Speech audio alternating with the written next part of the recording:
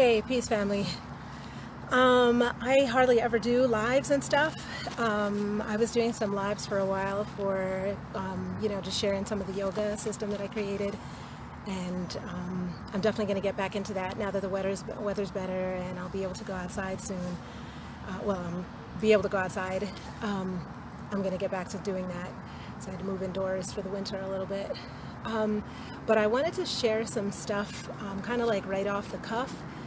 Um, I'm starting a, a journey, well, I'm in the middle of a journey, I should say. It's never ending and never beginning um, on just connecting with a, with a place where there's like real self-love going on.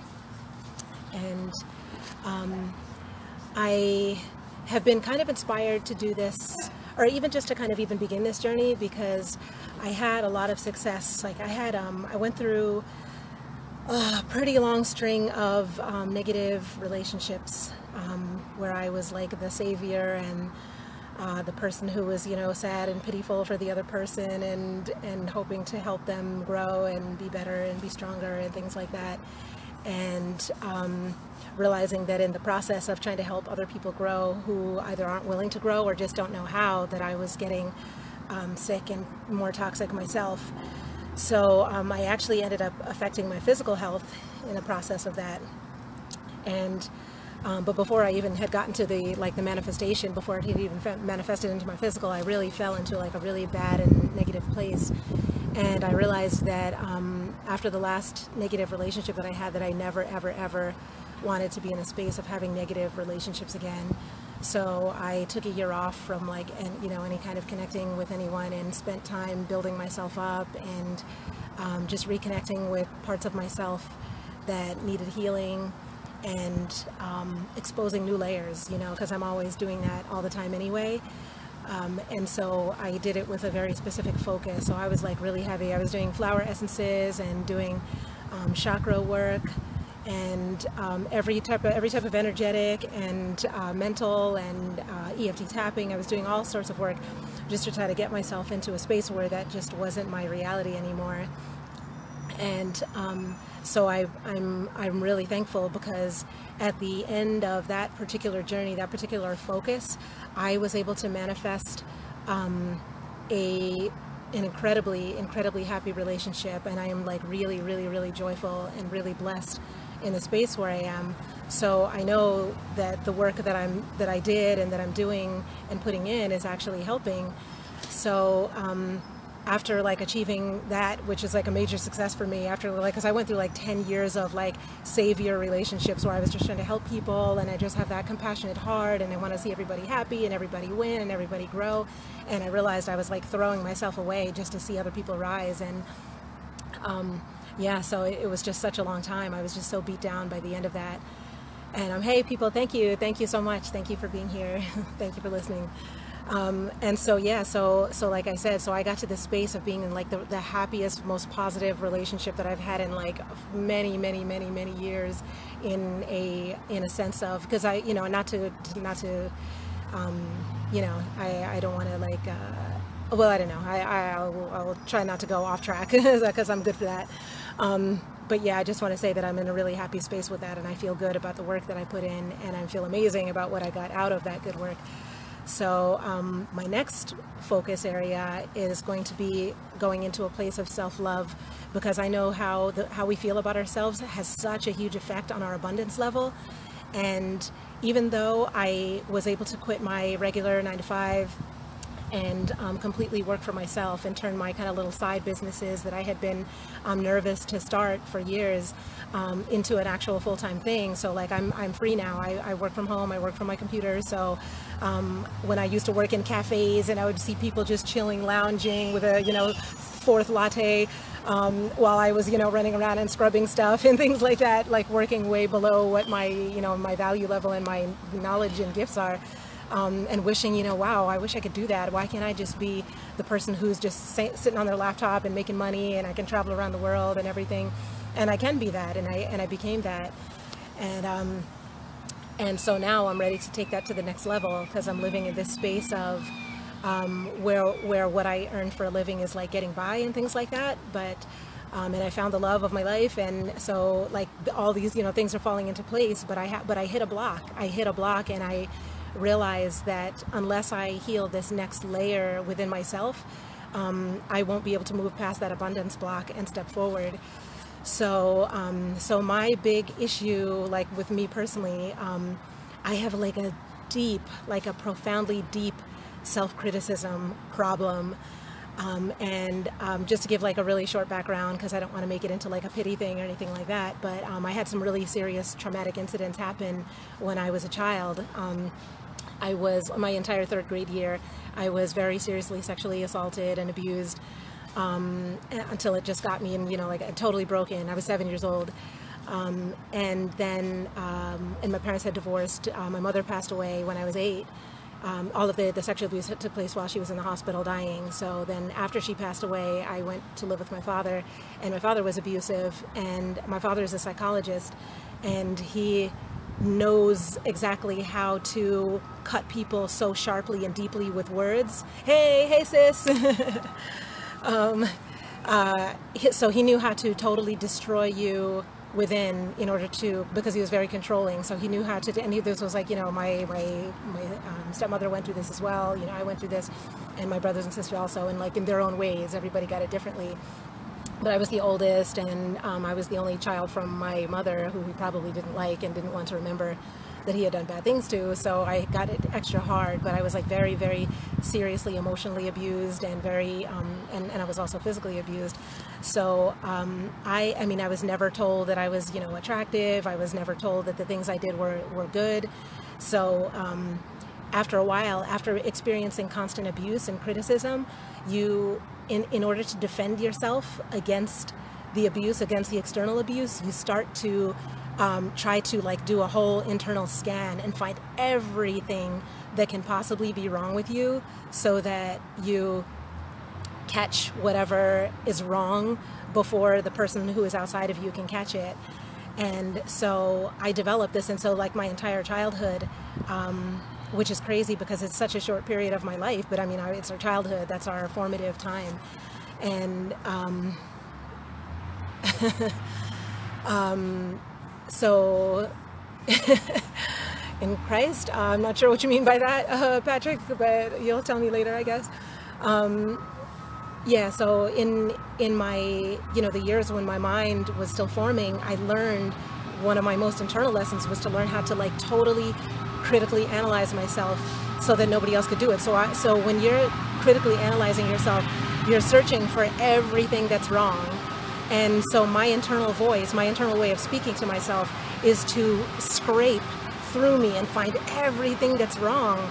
And um, it's so toxic. It's so toxic and so sick and sad. And it's like a habit that I have improved on through life, but I haven't been able to heal completely. Um, and it got to the point where there were times in life, like when I was in my, uh, maybe I won't mention my age this time, for everybody who doesn't know, but um, but when I was in my 20s, uh, I spent a lot of time. I was in, I was into punk rock, believe it or not. I was like a punk rock, you know, purple mohawk, spikes, you know, all that stuff.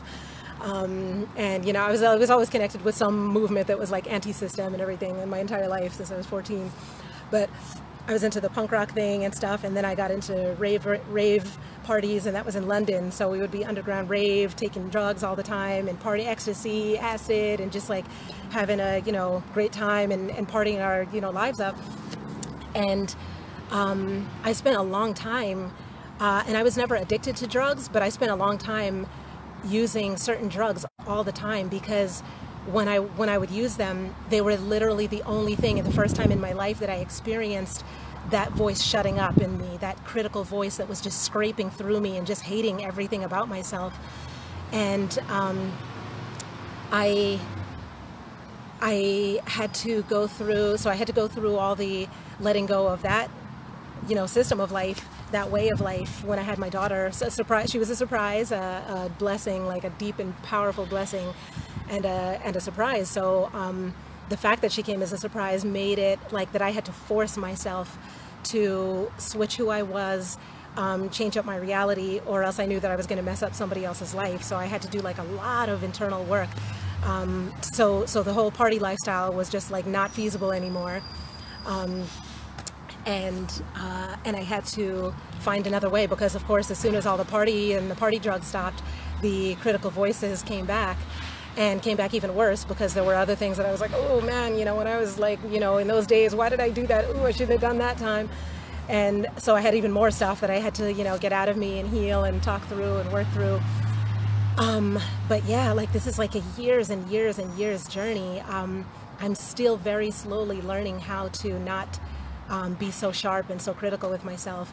And I know people who they'll look at me and they're like, oh my God, but you're gorgeous, you're intelligent, you know, you're fun, you're warm. What's the matter? And believe it or not, I mean, it's it's like a weird thing to say because I, I know that it's weird because I look at other women sometimes who are self-critical. I was I was telling my king last night about a woman that I knew back in um, when I was in college who um, we were both supposed to go. I'm going to throw this out there. Really not going to believe this. I'm the woman who doesn't even take aspirin, and um, you know, so I'm like, you know, I've been natural since I was in my teens. I've been a vegan, vegetarian, raw for 30 years, um, 31 years this year. Um, didn't take, you know, not into chemical medications. Always find a natural cure first. Um, if you anything at all, like I had, I get cancer, and I didn't even use any chemicals to get rid of the cancer. And so for me to say something like what I'm about to say is like to, to give you an example of like how huge this was. Um, I wanted to get breast implants. So my old roommate from college and I were going to go get breast implants together. And she was stunning. Like she was a stunningly gorgeous Asian girl, like, you know, uh, internally, externally. And she couldn't live with herself because she felt like she what didn't fit because she was slim. You know, she had a slender, like Asian slender type body frame and um, she didn't feel curvy and, and pretty and everything and um, and so and I didn't feel you know feminine. I was I was lacking in some of my own feminine energy towards myself. And so that was our like solution. Like you know what? Even though I won't even take an aspirin I'm gonna go and get you know bags made in a factory out of silicone and have them my body sliced open and have them inserted in so that I feel better about myself. Um, and I know they're dangerous and I know I could die on the operating table and I'm willing to take that risk just to be able to feel good about myself. And, um, you know, recently, like those kind of conversations have come back to me in the process of my self-criticism and, and working to heal. Um, and so yeah so like i just wanted to kind of like throw this out there because i want to share more about this for anybody else who's going through these kind of things or when people look at me and they're like oh but you're pretty you know you're, you're smart and and stuff. And and i accept those things. I accept that i'm pretty and accept that i'm beautiful and i accept that i'm knowledgeable and things like that. But um, the acceptance is like it's this little thing that sits underneath all of that. And in the everyday voice there's still the constant criticism. I've been trying to make this live for two weeks now. And every single day there's something wrong with my hair. Um, my eyes don't look right. Um, i look tired. You know like i have a reason every my voice is scratchy. Like i have a reason every single time. And the sad thing is it's literally not an excuse. Like i'm actually validly looking at myself and that's all i can see um, not all because like i said I'm, I'm improving um, but yeah, I, I, um, I would like like also to ask for like anybody who's watching this or sharing this. I would like to hear your stories, like especially as women, men also, because we but we have different ways that we talk to ourselves as men and women.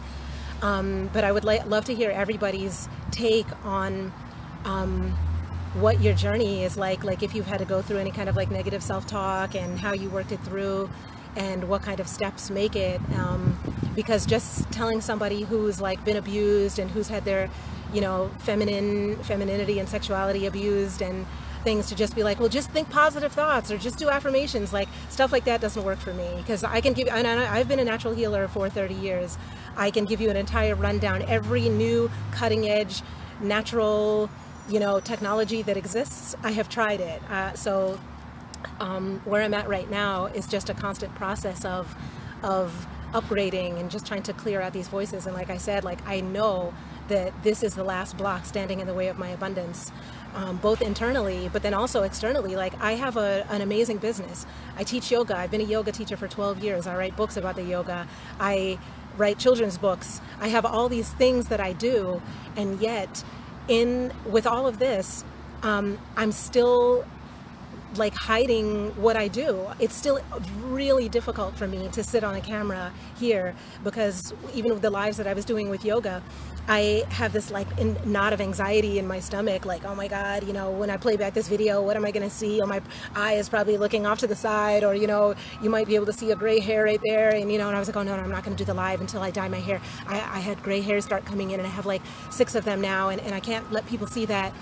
And, um, and again, you know, my king is like, really, are you really serious right now? You know, and um, and and also, you know, I, I do want to also say on a on a separate thing, I don't want to keep talking about relationship, like you know, but but I am really happy, and um, and I and I want to say, in conjunction with that, that um, I feel that it's really important also to surround yourself with people who actually see the real you, um, because when I look at me through my self-critical noise um, he is able to say to me, like, this is noise, babe, this is noise, and this is you. Can you, like, separate the two? And sometimes he's like, this is all noise, like, throw that whole thing in the trash, you know? And I'm like, really? You know? So, so for me, um, even the same thing, like, with the people who I connect with on Facebook, all the Facebook people I have sifted through. I've turned my whole timeline into like this garden and weed out people who are negative and toxic and have only bad stuff to say and people who celebrate life and love and want to see you do well and want to see each other do well. That's the people I want to keep in my space. Um, so it does make it a lot easier to do a video like this when I know that, you know, I've surrounded myself with people who are kind of like more loving and um, and who are authentic about working through their own journey too. You know, we all have stuff and until somebody is like bold enough to be the one to be like oh you know i have something messed up and then everybody who's been hiding it you know pressing the you know the box down and pulling the veil over is like oh my god you have that too? Oh thank god i'm not alone out here. You know so i want to be that voice um, for whoever needs to hear it because i know i need to say it. I need to get out here and actually start saying stuff you know and what i was saying sorry i jump around a lot but what I was saying about my business, like I don't even get on and talk about my business. I don't talk about my gifts. I don't talk about the works I'm doing, about my vision. Uh, because there's always something wrong. There's always something so wrong with me, so wrong with my physical appearance, so wrong with how scattered I am and how I just know I'm not going to say all the words in the right order that I just don't even do any videos or share anything at all. And I've been hiding behind text and hiding behind words. Um, and not to say that's fully hiding because um, I also organize my thoughts better, you know, when I when I write stuff down. Obviously, you can go back and fix it a hundred times, you know. Um, and I could even have made a video, recorded it, and, and gone back and done all the editing and then posted you, you know, the, the perfected ending. But I appreciate the fact of having to do live because I'm having to learn to live with whatever flaw, whatever I accidentally say, whatever came out sounding weird and you didn't get what I meant and be okay with that. I, um, I'm so loving and so forgiving and so accepting when other people have like issues and have flaw, you know, flaws and um, stuff that they don't like or that they're working through, and I can see it clearly, and I'm not able to apply that to myself um, fully. And so, yeah, that's like a huge work in progress for me. So um, yeah, I, I, just wanted to kind of share that. I'm actually going to try to start making videos every single day because make doing these videos is part of my forcing myself to get out of my comfort zone, get out of the box, and then also to get out of the self-critical space. Um, because having this, like when when I, I do much better when I see myself through other people's eyes because nobody is ever as mean to me as I am. you know, every even when people are mean, like any whether the you know the, when people are the most mean is usually the people who don't even understand what I was saying or where I was coming from anyway. When people take make toxic or negative remarks, I'm like uh, that doesn't even resemble me. So um, you know your mar- your like your comment has no value. Like it doesn't it doesn't hurt me. It doesn't make me feel anything at all.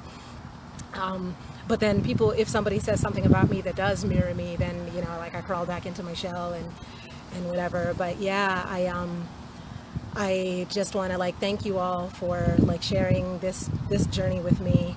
Um, I'm going to probably not in the next couple ones because I'm not that brave yet, but you know, I'm going to experiment like making videos that where I look however I look. You know, roll out of bed in the morning with bad breath that you won't be able to smell because you're watching, but I'll know, so it'll make me cringe anyway. Um, and just get up and do something just to test myself and to keep pushing myself, you know. Um, and I feel like um, I feel really supported right now. That's what I was saying, starting to say before I cut my own self off. Um, that I'm in a space of like a really strong support where when I start getting that self-critical voice, I have someone who loves me, who loves me through my flaws, who loves even my flaws and is comfortable with me. And so sometimes I literally, I, sometimes the voice is so bad that I need to look to him to actually remind me of what I am what I am looking like, you know, because it's such a different thing that people out there are seeing. You know, he, he sees something that I'm not seeing or that I that I don't fully see. And so sometimes, so now that I'm in a safe space of love, I can actually lean on that and um, kind of like prop myself up as I'm getting there into that space myself.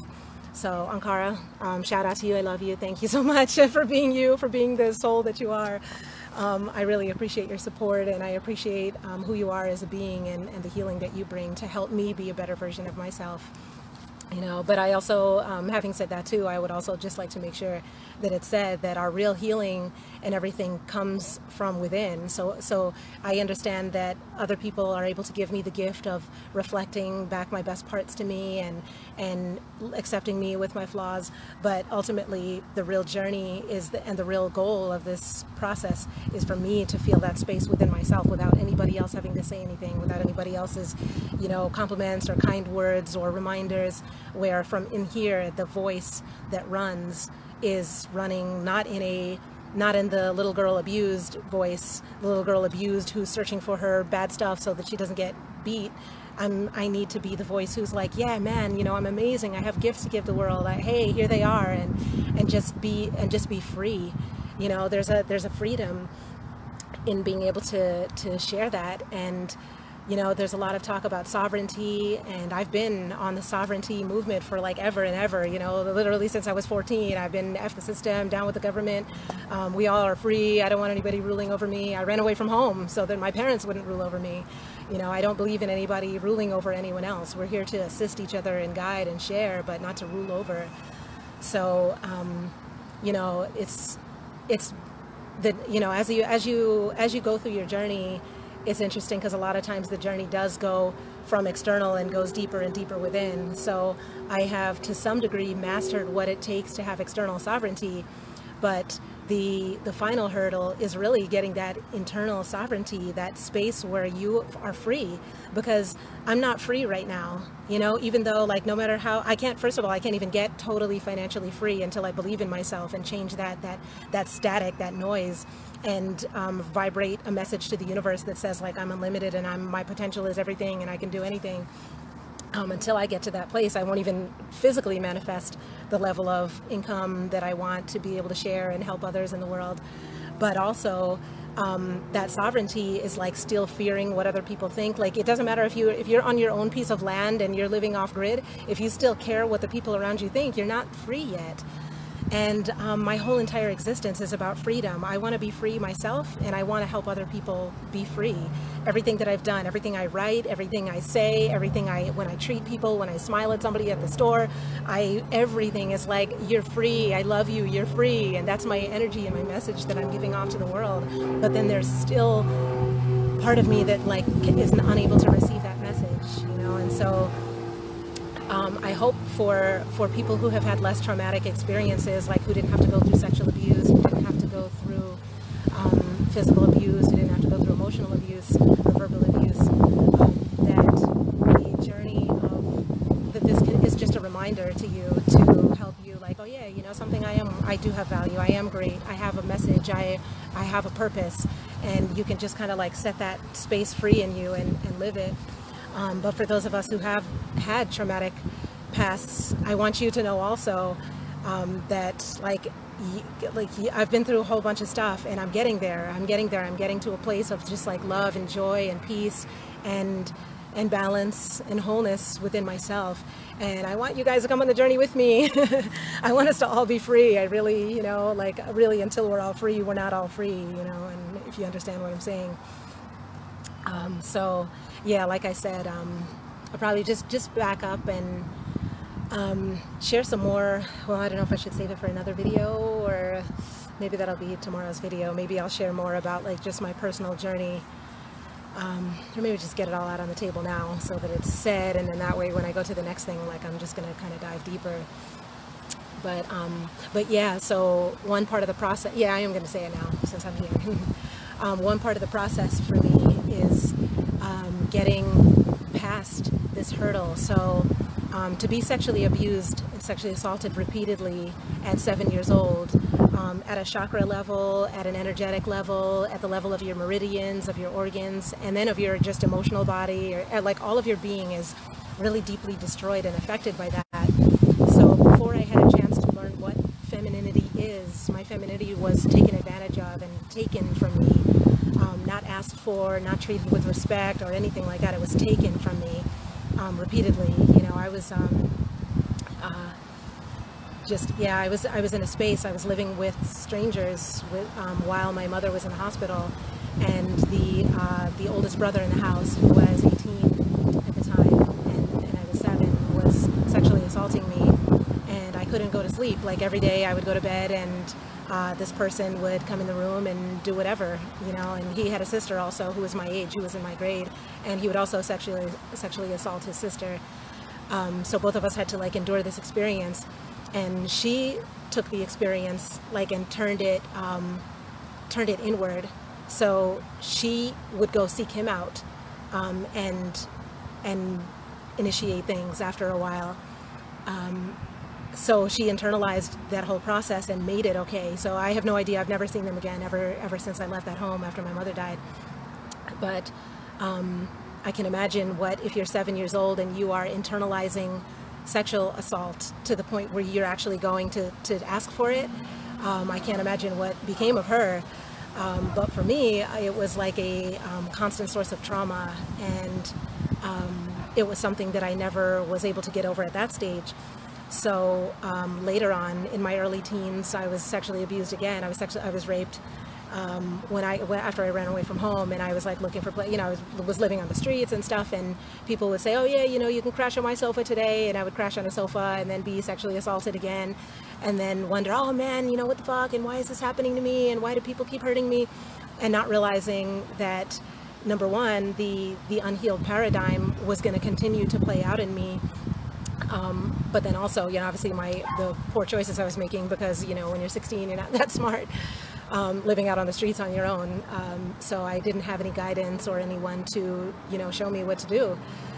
So, um, so before before I reached adulthood, um, uh, my entire femininity had been so badly mistreated that I didn't know what positive, healthy femininity and positive, healthy self-love even looked like. And so it's been a lifelong process. And like I said, so, you know, during those years or my early years, I was, you know, partying and I was drinking in the punk rock era and I was taking drugs and ecstasy, acid, all that stuff in the um, raver era.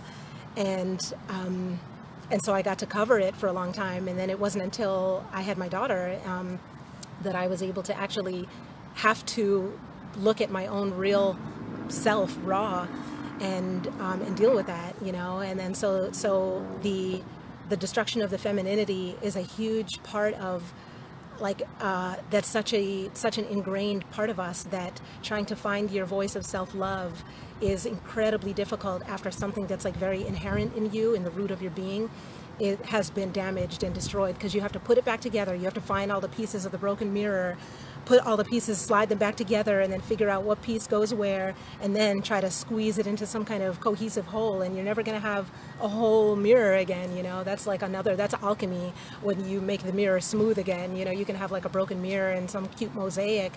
Um, which is the level of healing that I think most people get to. You know, I used to call myself. I used to my uh, my word for my for my process. I called it broken mirror syndrome because like my light was shattered. You know, from such a young age, and um, it was just scattered, pointing off in every direction, no focus, no purpose.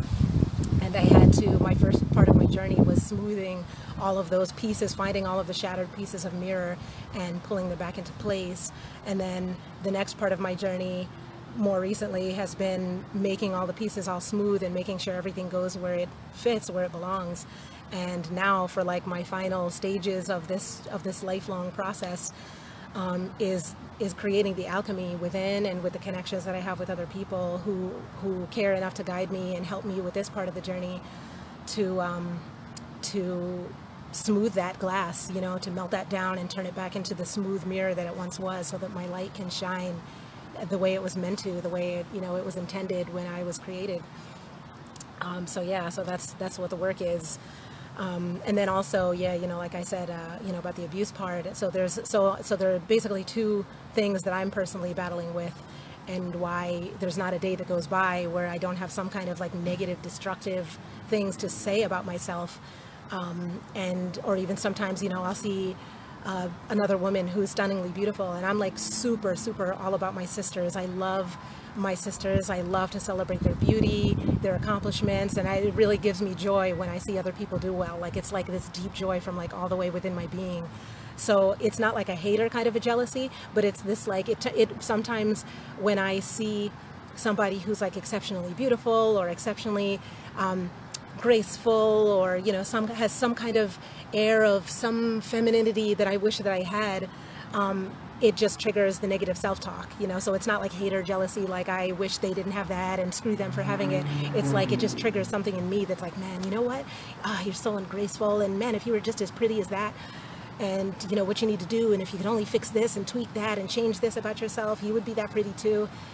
And um, and I need to stop that, you know, because uh, this isn't going anywhere. You know, I mean, we're not. I'm not in uh, not in a teleportation device here. I haven't mastered how to totally, you know, restructure my DNA so that my entire being shifts. And even if I did, um, should I?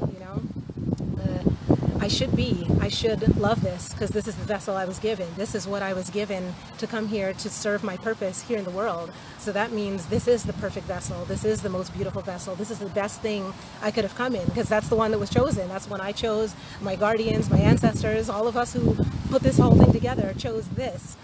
So it's like a, an insult to the process to not love it, you know, and I'm aware of all that mentally and spiritually.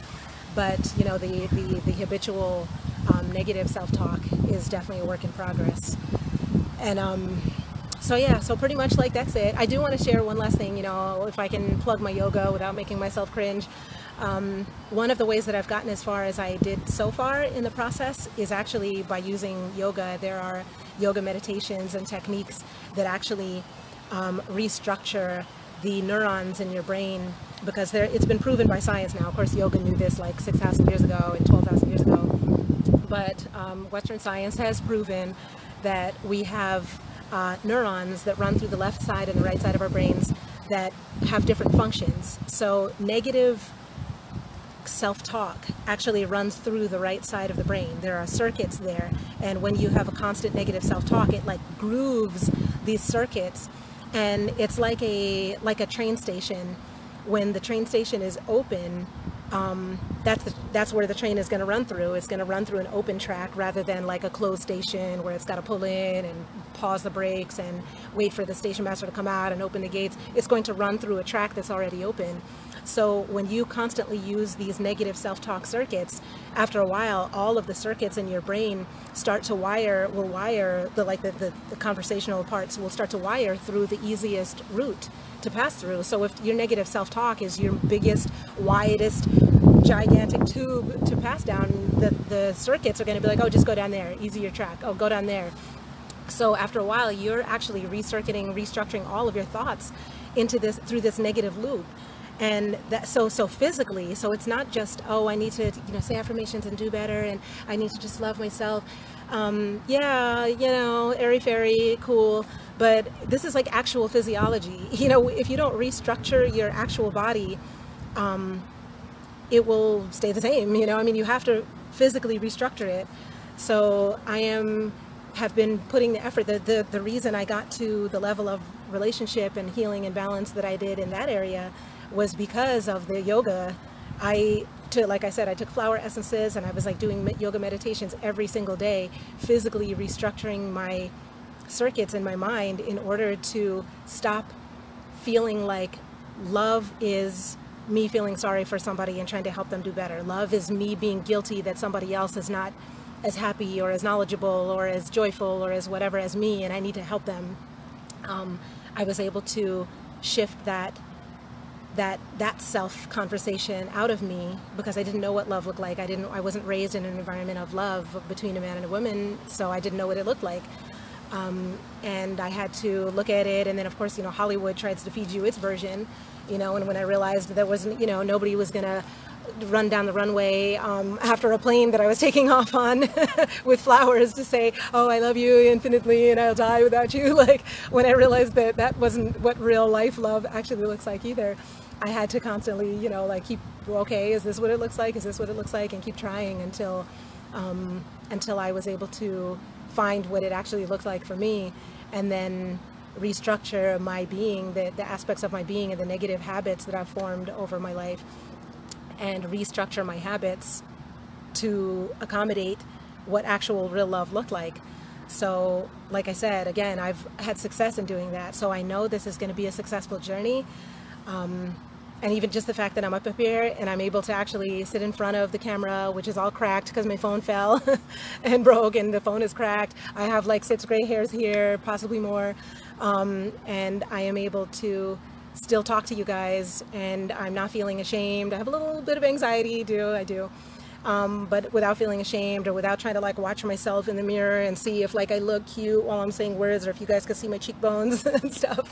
Um, I'm just saying what I what was here to say and, and the rest of me will just have to be what it is, you know, and and so that's a huge leap in um, that's just a huge difference for me already. Just the fact that I'm here. Hey, peace, peace, peace, peace, peace, brother. I'm so glad to see you here. Thank you. Um, and so just the fact that I've been able to um, get to the stage gives me hope for my own healing. And um, like I said, so because I feel like I've arrived at this stage, I just want to kind of like stay on top of this, connect with you all, ask you all to please support me in this journey of self-love, self-connection, and also to remember that you guys are love, you're worth love, I love you, and that if any of you have any kind of trauma, um, any kind of like mental issues that you're suffering through where you're going through stuff like this, please like inbox me. Let's do this together. Let's heal. Um, all of my work is about this. I want us to be healthy and whole and balanced. That's like my everything that I do is for that. So um, and you know, to me, like a real healer is a person who can heal themselves. And I can say I've healed myself through other things I've been through. So I would also like to get to the end of this and say, wow, you know, I'm living in this place of abundance now. I'm able to give to others at a level I was never able to give before. I'm able to have a life that I only dreamed about before and show others how to have that life too, you know. Um, that means everything to me. And so I have to come out of my comfort zone and heal this last piece for my own personal joy. I want to be able to show my daughters. I have two daughters. I want to be able to show them. Well, okay, now I have three. So I just want to make sure to put that out there too. But yes, now I have three daughters. And I want to be a positive example for all of them and give them the, the best version of myself and remind them that the internal voice they should be hearing is love and peace and acceptance, you know. So I think that's it for now. Um, thank you guys so much for, for sharing this with me and for being here, um, for participating in my process. And I'm here for all of you guys, like literally, you know, anytime, connect with me, build with me, hit me up. I love you all. Peace.